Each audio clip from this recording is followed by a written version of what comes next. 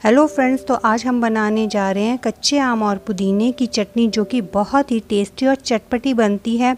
इस चटनी को आप समोसे, पकौड़े या चाट के साथ खाएँगे तो आपके समोसे, पकौड़े और चाट का जो टेस्ट है वो बहुत ही बढ़िया बन जाएगा। बहुत ही तीखी और चटपटी चटनी है ये। तो फ्रेंड्स इसकी रेसिपी स्टार्ट कर रहे हैं। तो इसी, इसकी रेसिपी स्टार्ट करने से पहले अगर आप मेरे चैनल पे नए हैं तो प्लीज़ मेरे चैनल को सब्सक्राइब करें वीडियो को लाइक करें शेयर करें।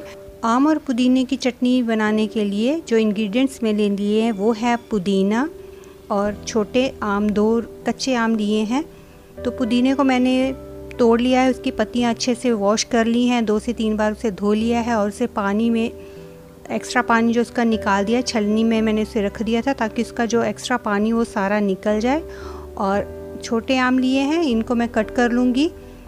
छिलका उतार कर इसके कट कर लूँगी और दो मैंने हरी मिर्ची ली है। आप चाहे तो ज़्यादा भी ले सकते हैं अगर आप तीखा खाना पसंद करते हो, क्योंकि मैं दूसरी जो लाल मिर्च है इसका यूज़ नहीं कर रही हूँ इसमें।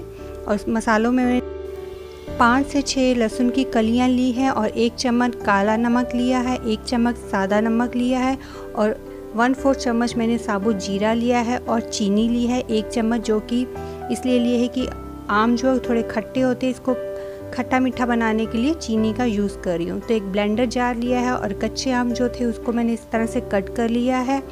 उसे डाल दिया है जार में और जो पुदीना है उसे भी मैं इस तरह से ब्लेंडर में डाल दूँगी।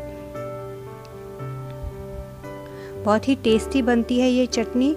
तो इसमें मैं जो हरी मिर्ची ली थी उसको भी डाल दूँगी। और सारे जो इंग्रेडिएंट्स हमने मसाले लिए थे उसको भी डाल देना है। और इन्हें एक तो इस तरह से इसने भी सारे मसालों को इसमें ब्लेंडर में डाल देना है।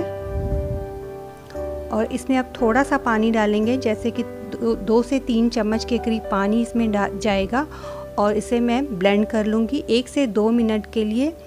ऑन ऑफ़ करके आपने इसको ब्लेंड करना है। तो ये देखिए मैंने ब्लेंड कर लिया है और चटनी जो है हमारी इस तरह से बनकर तैयार हो गई है। ये देखिए बहुत ही टेस्टी है। इस आप इसे इस चटनी को पकौड़े के साथ, समोसे के साथ या रोटी के साथ खाएँगे तो आपकी चपात, खाने का टेस्ट ये बढ़ा देगी। तो इसे मैंने इस बॉल में ट्रांसफ़र कर दिया है फ्रेंड्स ये रेसिपी आपको मेरी कैसी लगी प्लीज़ कमेंट बॉक्स में बताइएगा। तो मिलते हैं।